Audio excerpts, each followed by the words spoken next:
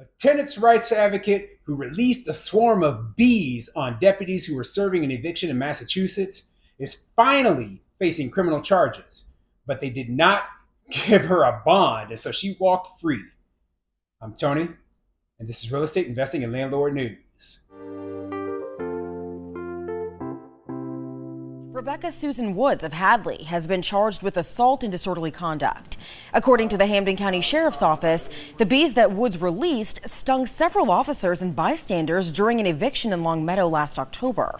Woods had been wearing a beekeeper suit and was not stung. Two deputies were stung and had to be taken to the hospital. She's due back in court September 12th. All right, so I have an interesting update for an article that I covered a while back about a crazy lady. I mean, she had to be absolutely insane, right? Who was trying to interrupt this eviction that was going on in Massachusetts, right? So she released a swarm of bees on the deputies who were serving this eviction. And I mean, the, the swarm of bees was bad because they went around, they stung the officers, they stung, you know, other bystanders. One of the officers had to go to the hospital because he had an allergy to bee stings, okay? And you know, it, this is a horrible situation. In my opinion, they should throw the book at this lady. Okay, she is just a straight criminal, and I don't know why she's even allowed to walk free. But apparently, they didn't even give her a bond. She was able to just go home and you know enjoy herself. Meanwhile, we have a sheriff's deputy who possibly could have lost their life if they didn't get you know hospital treatment quickly enough. So you know, being a fellow law enforcement officer, I'm just sitting here and I'm like, hey, you know, throw the book at these people who are attacking our law enforcement officers who are just doing their jobs. You know, the, if you have a problem with the person who is um, the owner of the home, that's one thing. But hey, these law enforcement officers are just, they're following court orders. And you know what? We need them. We need them. They're protecting our communities. They're doing the, the work that people, you know, just wouldn't want to do otherwise. Okay. And you're attacking them okay, throw the book at those people. And this lady needs to be sitting in jail right now. So before I get into the article, go ahead, hit the like and subscribe button, maybe leave a comment down below. Let me know what you think.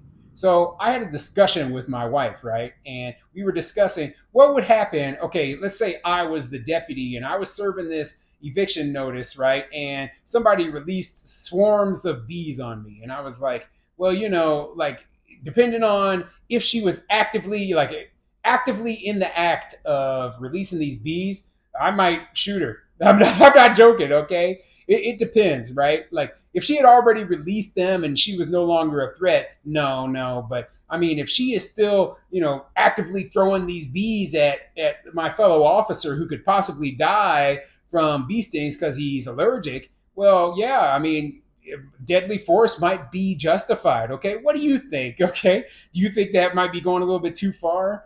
Uh, I, I, I have a different you know opinion. I, I don't know if it's the right opinion or not, in because this is such an insane situation that how do you how do you say oh well you know but if you look at the charges this lady got uh, pressed against her well maybe it was a deadly force situation so anyway let's get into this article this article is coming from wwlp.com and it says hadley woman in court for allegedly attacking officers with beehives.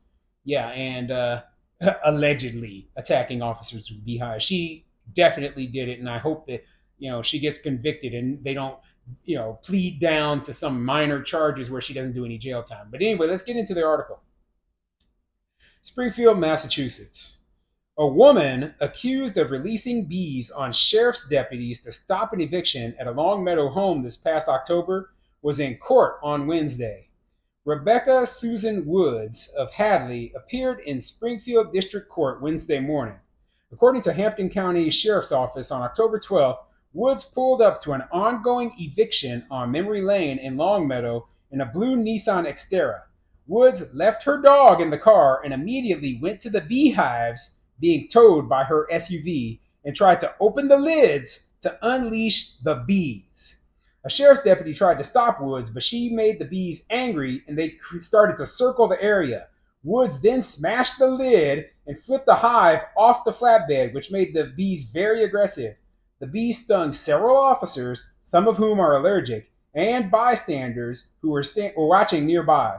One officer was taken to the hospital for bee stings. So, yeah, that's a good summary of everything that happened, right? And I don't know what exactly was going on where she was protesting the, the eviction that was going on at this house, right? But she decided that, oh, the best way to stop this eviction was basically to get violent. And when that happens, it sounds to me like she had multiple beehives on the back of this truck, right? So she knocks over one beehive and you know they, they start swarming and attacking. The officer's sitting there trying to stop her and she's you know she's got multiple beehives and she's you know releasing these things. You know, like this is a deadly weapon we're talking about here, okay? She is doing a purposeful attack on the the officers and the people there who are just trying to serve this eviction and simply put, you know, like I said, I might have shot her. you know, you know, I'm, I'm, glad I wasn't in that situation. I'm glad that you know um, the officer didn't die after you know being hospitalized with these you know excessive numbers of bee stings or any of the other people in the area. But you know what, this lady, you know, this is I mean a straight case of uh, simply put, she's assaulting an officer, and I don't know if uh, in Massachusetts they actually have that charge, but that, that's what it sounds like to me. Like that was her full intention was for these bees to attack the officer. She wasn't just throwing the beehives down for fun or there was no accident involved. She came there to that site at that exact moment with that purpose in mind. Okay, so that's why she needs to have the book thrown at her, but that's not exactly what happened, right? And I'm I'm worried that this case is going to be, you know, where she gets pled down and she doesn't face any consequences for her actions, right? The soft on crime nonsense that goes on in these, you know, very left leaning places is ridiculous. And you'll see what I mean here in just a moment. Woods put on a professional beekeeper suit to protect herself, then carried a tower of bees near the front door of the home to try to stop the eviction, which has been stop and go for nearly two years. At the front door of the home, she tried to agitate the bees more and was arrested by sheriff's deputies and booked at the Western Massachusetts Regional Women's Correctional Facility. Woods was released without bail and charged with the following. So you read that right, right? She was released without bail. Okay. So simply put, you know, and this happened months ago.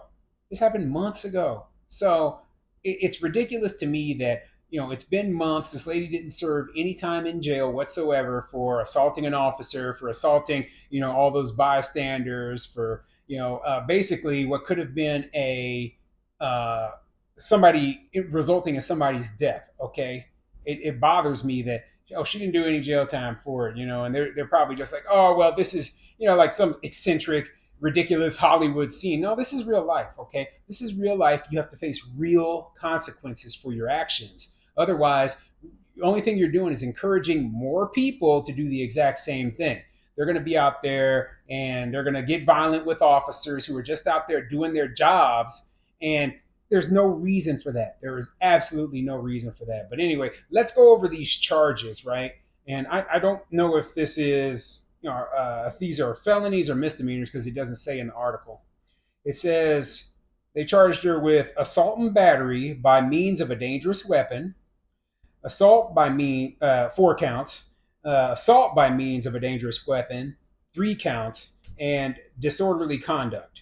Right, and so you know, having seen so many court cases, it's very likely that they're going to get these pled down to where she doesn't do any jail time, or if she does do jail time, it'll be very minor. Maybe the disorderly conduct will be the only one that'll be on her record, a misdemeanor. Meanwhile, the officer's sitting up in the hospital all messed up. You know, like this is why people don't want to be law enforcement officers because, you know, the, the courts don't have your back. The um, local governments don't have your back. And they treat criminals as though they are children. Oh, here's your little slap on the wrist Give me a break, okay? All this over an eviction. All of that, okay? Ridiculous. Absolutely ridiculous. Throw the book at this lady, put her in prison. I'm not joking there. She needs to go to prison. You know, maybe a few years in prison would teach her that hey you need to follow the law. If you're against something you know peaceful protest is okay but attacking people with bees it's going too far